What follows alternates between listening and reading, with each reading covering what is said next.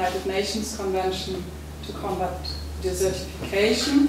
Ähm, das Manko sozusagen dieser UNCCD ist, dass es wirklich sich ausschließlich auf Trockengebiete der Erde bezieht ähm, und also man befasst sich vor, vorrangig damit, ähm, naja, Wüstenbildung zu bekämpfen. Ähm, das versucht man schon seit einigen Jahren auch etwas auszuweiten, aber da gibt es dann auch eben im internationalen Gefüge immer so ein bisschen Schwierigkeiten. Ähm, dann gibt es natürlich noch die Konvention, Konvention, zur Biodiversität, die befasst sich jetzt nicht unbedingt so sehr mit den Bodenkleinstlebewesen, die ich vorhin gezeigt habe, aber dennoch ist natürlich die CBD auch für ähm, Bodenschutz und ähm, Bodennutzung große Bedeutung, beispielsweise auch wenn es um, wenn es um Forstwirtschaft, Aufforstung, Abholzung geht. Ähm, genauso die Klimarahmenkonvention. Klimarahmenkonvention hängt in der Form also mit Böden zusammen, dass man einerseits anerkennt zunehmend, dass Böden auch eine Rolle in, ähm, bei der Bekämpfung von Klimawandel spielen können, aber eben auch ähm,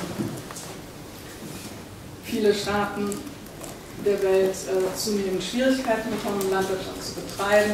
Das heißt, äh, wir brauchen Unterstützung bei der Anpassung an den Klimawandel. Und ähm, alle diese drei Konventionen sind ja die, die Rio-Konventionen von 1992, die da vorgegangen sind. Ähm, auf, der, auf der Konferenz Rio Plus 20 im Jahr 2012 ähm, hat unter anderem sehr stark vorangetrieben, auch durch UNCCD, ähm, man ist dazu gebracht, ähm, Forderungen nach einer Land Land Degradation Neutral World wirklich auf einer politischen Ebene noch ähm, stärker zu verankern. Das hat dazu, hat dazu geführt, dass in der Agenda 2030, die die Fortführung darstellt der Millennium Development Goals, ähm, es ein eigenes Unterziel gibt ähm, zur Bekämpfung von Bodendegradation. Ähm, da komme ich aber auch gleich zu. So. genau. Die Sustainable Development Goals, ich weiß nicht, inwieweit das hier ein Begriff ist, ähm, das geht zurück auf eine Initiative von Kolumbien und Guatemala, das heißt also Entwicklungsländer, die gesagt haben, eine Fortführung der Entwicklungsagenda weltweit ähm, sollte nicht ausschließlich sich wieder auf Entwicklungsländer beziehen, soll keine, Südagenda sein, sondern sie soll sich global auf alle Länder der Welt beziehen. Die Ziele sollen von allen Ländern universell angewendet werden können und ähm, man hat also in sehr umfangreichen, sehr intensiven Verhandlungsprozessen ähm, letztlich einen Katalog von 17 Zielen und 179 Unterzielen erarbeitet. Und ähm, die Ziele wurden dann im September 2015 von der Vollversammlung der Vereinten Nationen angenommen. Alle Staats- und Regierungschefs haben sich auch darauf verpflichtet. Und ähm, das sind sie in der Übersicht. Und Ziel Nummer 15 bezieht sich also auf den Schutz von Life on Land und ich sagte ja, es gibt eben 169 Unterziele und so hat eben Ziel Nummer 15 das Unterziel 15.3.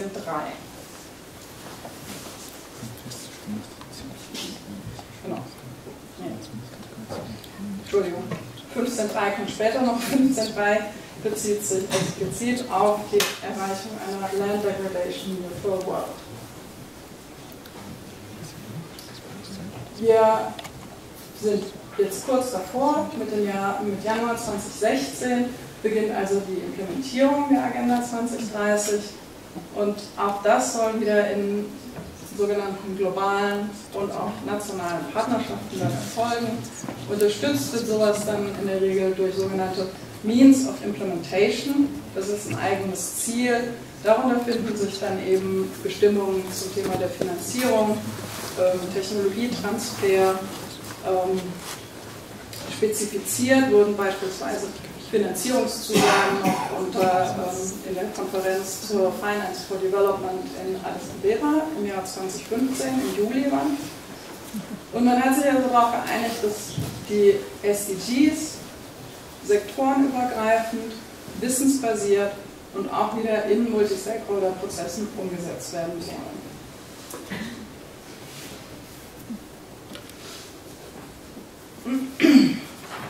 Rolle der Böden in der Agenda 2030 ist zentral. Warum ist das zentral? Ich meine, ich habe jetzt schon relativ viel auch darüber gesprochen, Böden zur Produktion von Nahrungsmitteln, Böden zur Produktion von Energie. Ähm, wir wachsen, die Bevölkerung wächst weiter, die Verstädterung nimmt zu. Schon heute leben ungefähr 60 Prozent der Menschen in Städten und auch das wird noch weiter zunehmen. All das führt natürlich dazu, dass einerseits Böden ganz zentral sind in der Umsetzung der Agenda 2030, andererseits deuten sich schon ganz massive Nutzungskonflikte an und es muss also gewährleistet sein, dass ähm, die Umsetzung der Agenda 2030 wirklich nachhaltig bleibt, in dem Sinne, dass eben auch ähm, die Ressource Boden weiter geschont wird. Ähm, ja, mag sein, dass ich einen leichten Afrika-Fokus habe, aber ähm, es ist eben so, Böden sind zentral für nachhaltige Entwicklung und die Verbindung zwischen Bodendegradation und Armut ist dann eben auch wieder ganz besonders stark ausgeprägt im südlichen Afrika. Dort sind also zwei Drittel der Menschen abhängig vom Land, leben auf dem Land und stellen also die sozusagen Arbeit, also die gesamte Arbeitskraft, die ganze gesamte Arbeitskapazität äh, ist also in der Landwirtschaft tätig. Ähm, und diese Darstellung hier zeigt also von links nach rechts die, das Verhältnis von Bodendegradation zu Armut. Ähm, je stärker ausgeprägt die Bodendegradation ist, desto höher sind also auch die, ist auch das, das Niveau der Armut in vielen Ländern.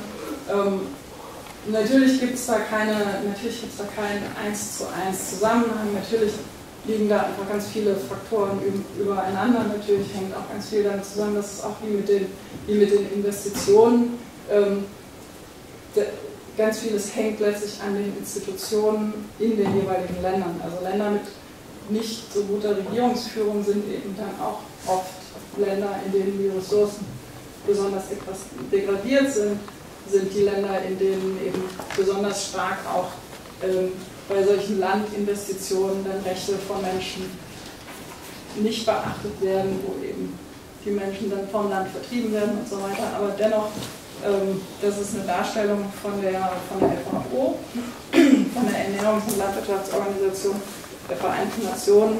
Ich denke, da kann man einigermaßen sagen, das ist äh, vertrauenswürdig. Ja, ähm,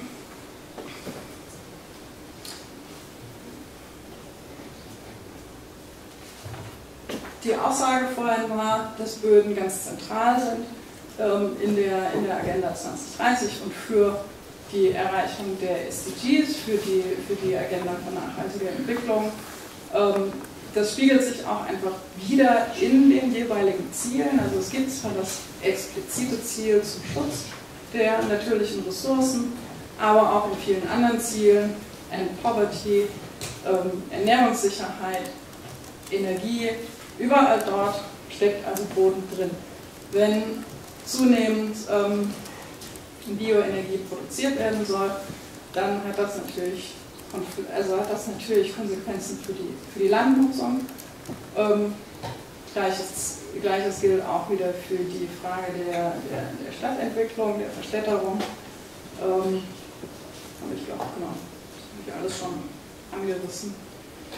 So, hier ist also das berühmte Ziel 15.3 letztendlich.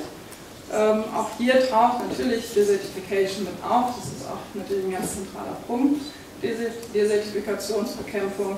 Es steht aber auch drin, dass man eben degradiertes Land und Boden restaurieren möchte, rehabilitieren möchte, ähm, um wirklich diese landdegradationsneutrale Welt zu erreichen.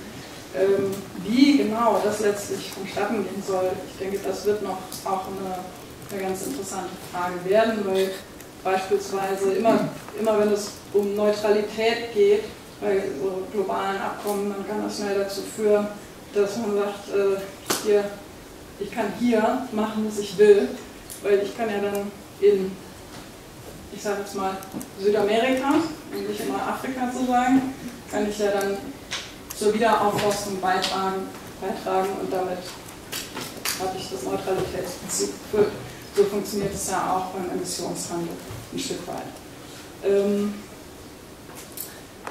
das ist einfach auch nochmal zur Verdeutlichung der steigenden und konkurrierenden Nachfrage. Ähm, ich habe schon die, die Nahrungsproduktion angesprochen vorhin. Ähm, das ist jetzt eine Darstellung zur, zur, zum Anstieg der Nachfrage für, von Land für die Produktion von, von Biosprit, also Bioethanol und Biodiesel. Ähm, das muss nicht so kommen, das ist ja eine, eine Projektion, aber ähm, das erfordert eben, das erfordert dann eben, dass wirklich sektorübergreifend und fachgebietsübergreifend ähm, Politik auch betrieben wird.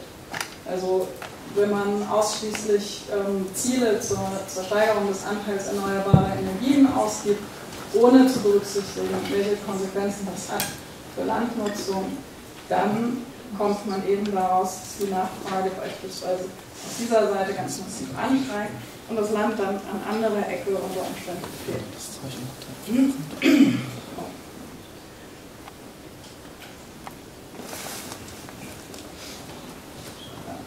Es gibt verschiedene Möglichkeiten, dem, ähm, solche Nutzungskonkurrenzen ein bisschen auszugleichen, ähm, aber letztlich ist auch, also habe ich vorhin auch schon gesagt, die Intensivierung der Landwirtschaft beispielsweise durch äh, zunehmenden Einsatz von, von Düngern ähm, kommt auch also an die Grenzen und ähm, inwieweit also wirklich die Steigerung der Nutzungsintensität dazu beitragen kann, dass Ertragssteigerungen noch erzielt werden. Das ist eben gerade dort, wo man theoretisch diese, diese Potenziale sieht, das ist fraglich. Also wir sehen das, wir erleben das eben selbst in, den, in unseren Projektländern, ähm, wo wir unterwegs sind. Theoretisch sind die Potenziale wahnsinnig hoch, rein praktisch gesehen funktioniert es einfach nicht so. Dazu kommt, dass eben wir auch immer noch uns wahnsinnig hohe äh, Mengen an, an ähm, Nahrungsmittelverlusten erlauben. Einerseits natürlich eben in Europa, wo einfach fertig produzierte Waren in die Tonne wandert, aber in, in Ländern eben im südlichen Afrika beispielsweise gibt es eben vorrangig sowas, die sogenannten Post-Harvest-Losses, weil eben nicht genügend Kapazitäten da sind, die Produkte nach der Ernte zu lagern, zu kühlen, die kommen nicht zum Markt, sie, verfa sie verfaulen. so was kommt mit dazu. Ähm, genau, und natürlich die berühmte effizientere Energienutzung, von der wir ja auch in Deutschland schon seit vielen Jahren reden, wo wir aber auch nicht vorankommen. Ähm, das heißt also, wir werden zusätzliche Flächen benötigen.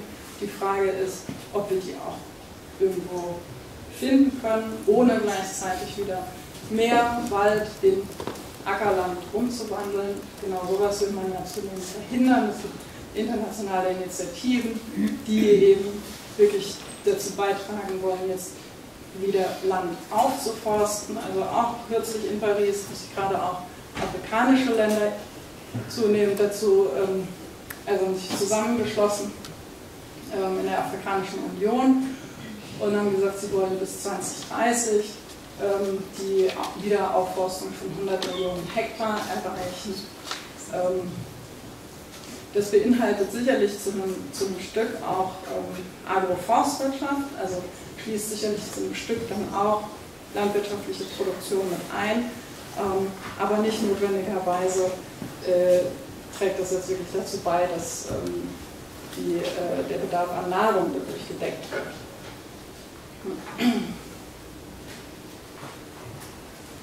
Und ich sagte ja auch schon, ähm, wir auch in Europa weltweit werden also Böden degradiert und kommen zunehmend an den Anschlag und es wird zusätzlich Fläche gebraucht werden. Hier beispielsweise dann eben rechts im Bild ähm, die graue Säule, das ist äh, die konservative optimistische Schätzung, dass wir 90 Millionen Hektar zusätzlich jährlich in Betrieb nehmen müssen.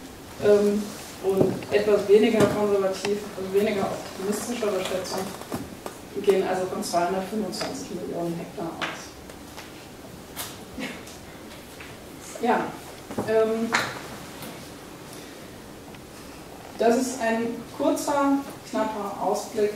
Ähm, ich sagte ja, wir sind, wir sind ähm, sehr involviert, beispielsweise in der Diskussion von, von Prozessen wie der ähm, Agenda 2030. Ähm, wir machen relativ viel im Bereich äh, Multi-Stakeholder-Plattformen. Wir führen ähm, in einem Rhythmus von eins bis anderthalb Jahren eine große Konferenz durch, die sogenannte Global Soil Week, wo ähm, Leute aus der Praxis, aus der Politik, aber auch aus der Zivilgesellschaft, aus allen Ländern der Welt, also alle haben wir noch nicht, aber wir haben schon, glaube ich, letztes Jahr aus 80 Ländern der Erde Besucher gehabt, aus allen möglichen Bereichen, wo auch über Fragen von Landnutzung, Landrechten, Bodendegradierung gesprochen wird und nach Lösungen gesucht wird, wie man das zusammenführen kann. Ähm, wie, wie, man beispielsweise eben solche Nutzungskonflikte, die sich auch durch die SDG-Agenda abzeichnen, austarieren kann, ausbalancieren kann. Ähm, gleichzeitig bleibt natürlich die Wissenschaft zentral. Ähm, wissenschaftliche Beiträge, beispielsweise auch mit dem Blick auf die Entwicklung von Indikatoren, teilweise auch schon alleine mit dem Blick auf, den, auf die Erfassung des Status von Bodendegradation oder Bodenzustand sind natürlich zentral oder auch zur Weiterentwicklung von Maßnahmen für Bodenschutz und Bodenbewirtschaftung.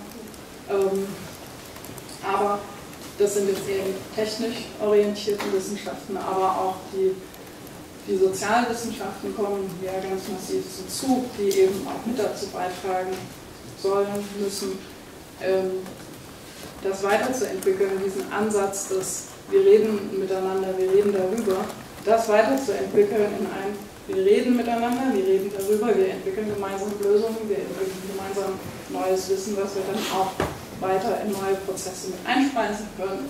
All das erfordert natürlich weitere Forschung.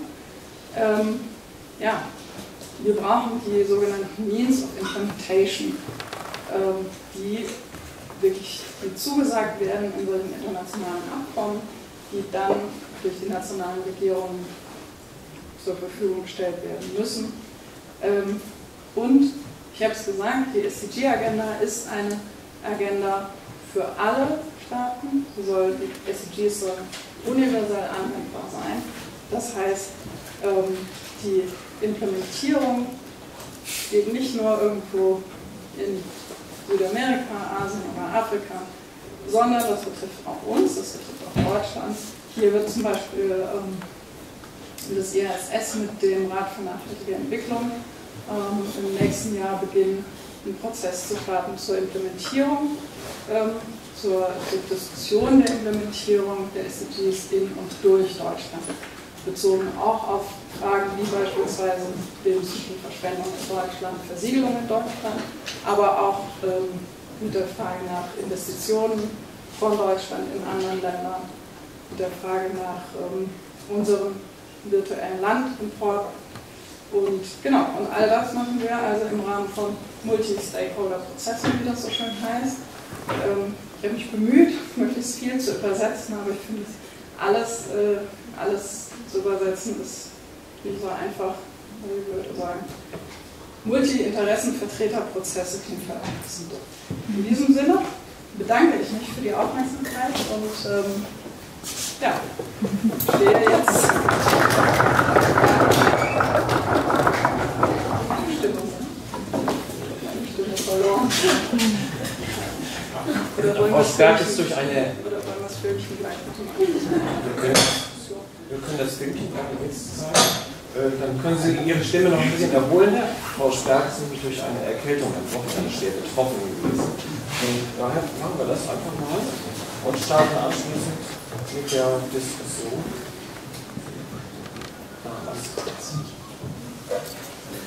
Stellen wir uns einmal vor, der fruchtbare Boden dieser Erde würde zu Ende gehen. Ohne ihn wäre unser modernes Leben nicht möglich. Die Möbel in deiner Wohnung, das Gerät, auf dem du gerade diesen Film siehst, die Nahrung in deinem Kühlschrank, sogar deine Kleidung. All das gäbe es nicht ohne den Boden. Eine Ressource, die in tausenden Jahren entsteht, von uns aber in kürzester Zeit verbraucht wird. Besser, wir handeln jetzt.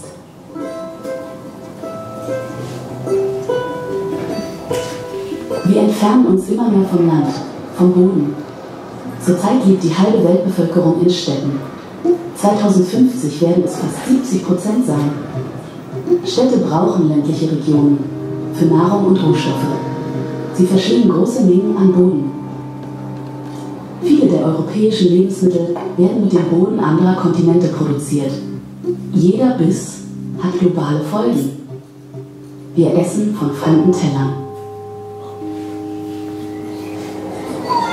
Die Lebensgrundlage von Menschen auf der ganzen Welt hängt von ihrem Zugang zu fruchtbaren Böden ab. Damit Bauern ihr Land nachhaltig bewirtschaften können, muss das Land ihnen gehören. Die aktuelle Politik begünstigt oft hochindustrialisierte Formen der Landwirtschaft. Diese suchen meist den schnellen Profit und ermüden den Boden mit exzessiver Bewirtschaftung. Pestizide, Monokulturen sowie intensive Bewässerungsmaßnahmen laugen den Boden aus. Sicher ist, kurzfristige Interessen lassen Boden unfruchtbar zurück. Damit gefährden sie auch die Lebensgrundlage der Bevölkerung vor Ort. Weltweit kämpfen Landbewegungen für dieses Recht. Immer wieder mit Erfolg. Um jedoch Veränderungen im großen Maßstab zu bewirken, benötigt es politische Lösungen. Parlamente stehen in der Pflicht. Landrechte und Bodenschutz brauchen Gesetze und Kontrollen. In jedem Land und international. Langfristige Land- und Nutzungsrechte bilden die Grundlage. Stellen wir uns einmal vor, der fruchtbare Boden dieser Erde würde zu Ende gehen. Ohne ihn wäre unser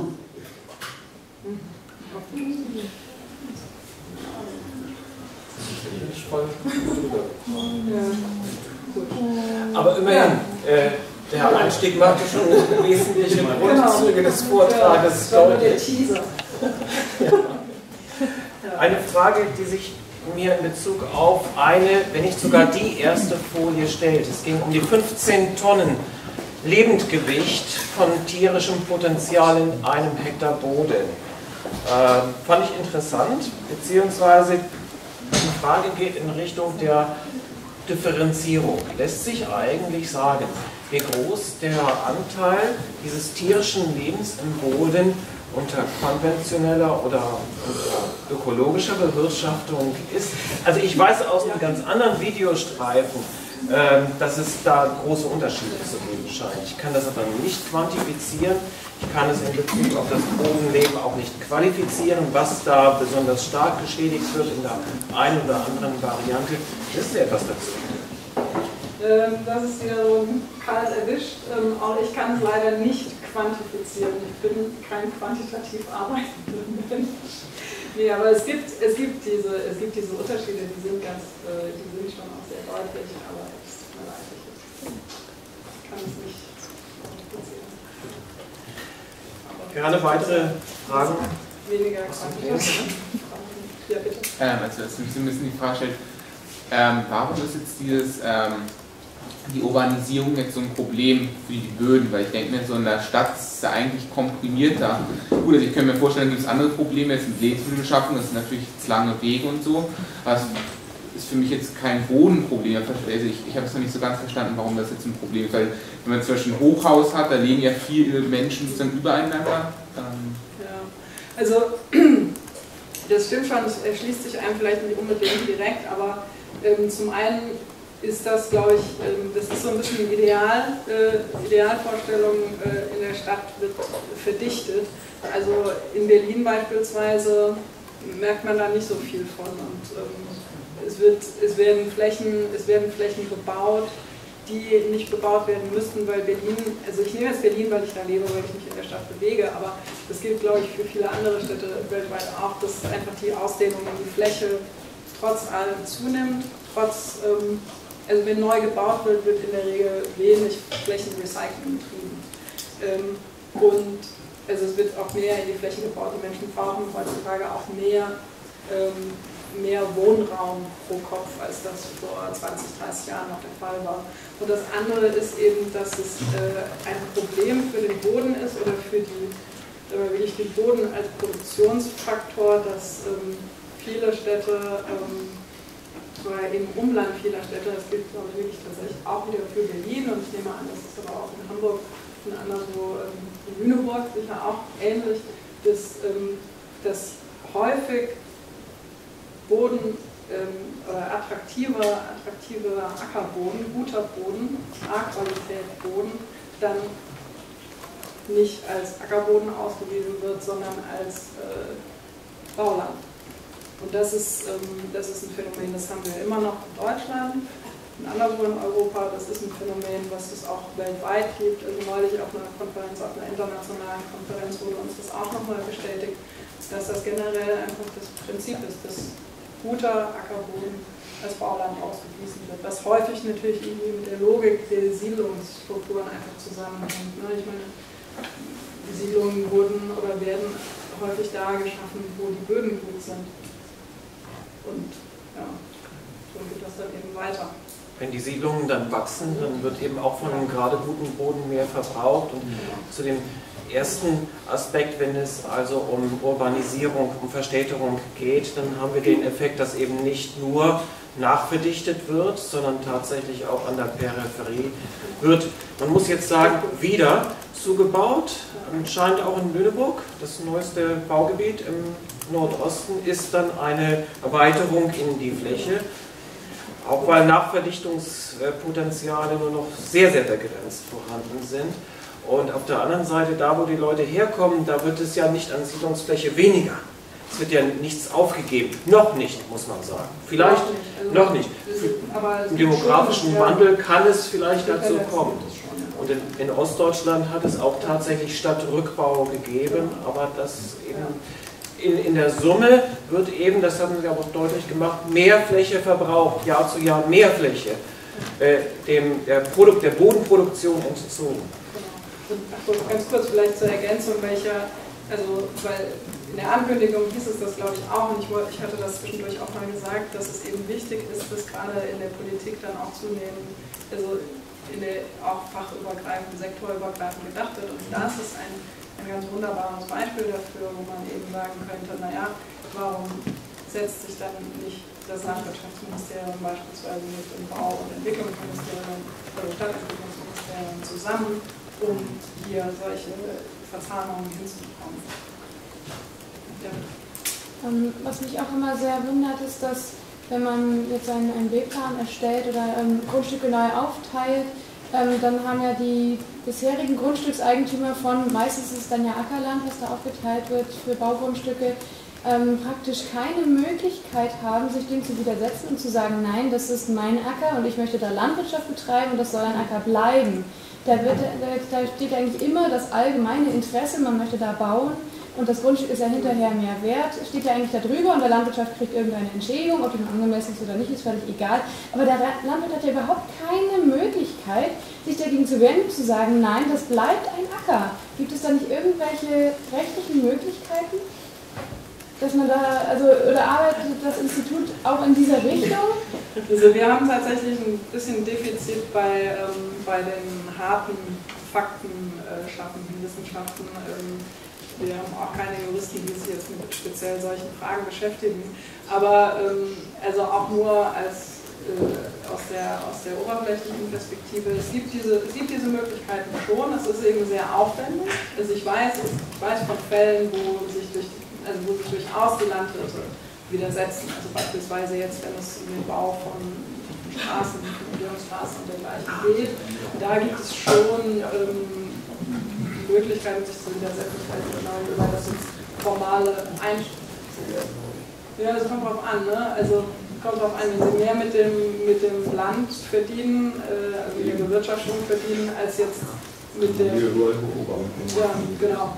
Also ich kenne, also ich komme aus der Pfalz ursprünglich und die, ähm, also da wird schon seit 30 Jahren um eine Umgehungsstraße gestritten, weil ja, Das kann ich an der Stelle bestärken. Also es ist erstmal nicht sicherlich nicht das äh, sich verbeiberufes Phänomen bei der Siedlungsflächenentwicklung. Siedlungsnahe Ackerlandanteile, die werden eigentlich eher gerne verkauft im Sinne der, der Wertsteigerung, zunächst als Bauerwartungsland und schließlich Bauland. Das heißt, der jeweilige Landwirt kann dann tatsächlich auch noch eine größere Geldmenge für sich requirieren und das mag er in der Regel. Sieht anders aus beim Verkehrswegebau, insbesondere beim Straßenbau. Da ist also die, die Vergütung deutlich niedriger und im Grunde auch nicht lukrativ. Ähm, deshalb auch nicht lukrativ, weil mit dem, mit dem Verkauf einer, eines bestimmten Maßes an Fläche in der Regel eben nicht der Verlust eines ganzen Ackers oder die Inwertsetzung, monetäre Inwertsetzung eines ganzen Ackers verbunden ist, sondern nur eines Streifens. Und der dann, dieser Streifen zerschneidet dann unglücklicherweise die Bewirtschaftungsflächen. Das heißt, der Landwirt, äh, der holt sich damit eigentlich zusätzliche Nachteile neben dem viel zu geringen äh, Verkaufserlös ins Haus. Deshalb mag er das normalerweise nicht. Irgendwann, üblicherweise im Zuge von Generationswechsel, ist dann häufig doch der Zeitpunkt gekommen, das Land zu verkaufen. Oder aber, und da gebe ich Ihnen jetzt recht, das öffentliche Interesse an dem Bauvorhaben, insbesondere wenn es sich um einen höherrangigen Verkehrsweg handelt, wie Autobahn oder Bundesstraße, wo also der Bund im Hintergrund steht, das kann dann tatsächlich dazu führen, dass es zu einer Enteignung kommt. Oder aber in anderen Fällen wird irgendwie so eine Kurve eingeplant. Das heißt, das Landstück, wenn es bautechnisch geht, wird ausgespart macht man relativ ungern, aber es passiert durchaus. Es gibt da also verschiedene Handlungsstrategien an der Stelle und von daher muss man auf jeden Fall Verkehrsflächen in Anspruchnahme und Siedlungsflächen in Anspruchnahme hier ein bisschen trennen. Ich habe in meinem Leben Baulandentwicklung gemacht, also ich, sage, ich könnte diese Frage sehr gut beantworten. Äh, denn bislang haben die äh, Landwirte ja verkauft über ein Vielfaches äh, Bodenwertsteigerung erhalten und haben dafür, als es noch ging, wesentlich mehr Fläche für sich selbst gekauft. Das heißt, sie haben an anderer Stelle, als es noch möglich war, Riesenflächen für, diesen, für diese 8 Hektar, die so ein Bauland so im Durchschnitt hier um Lüneburg ausmacht, äh, Geld gekriegt und haben Flächen dazugekauft, haben sich also erweitert. Und im Straßenbau und gerade hier, äh, wenn es um Bundes